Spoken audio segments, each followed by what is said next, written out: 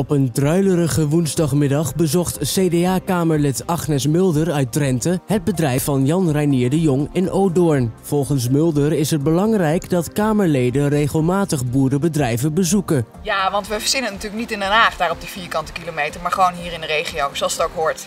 En de boodschap van de nummer 13 van het CDA is duidelijk. Dat wij weer een eh, eigen minister willen hebben voor landbouw. Het is erg belangrijk dat het eh, belang van de boeren niet wordt ondergesneeuwd. En deze staatssecretaris heeft er natuurlijk gewoon een potje van gemaakt. En we willen gewoon weer dat de boeren serieus worden genomen. Het zijn belangrijke familiebedrijven, belangrijk voor onze economie, voor onze export. En daar moeten we zorg voor hebben. En ook dat ze een eerlijke boterham kunnen verdienen.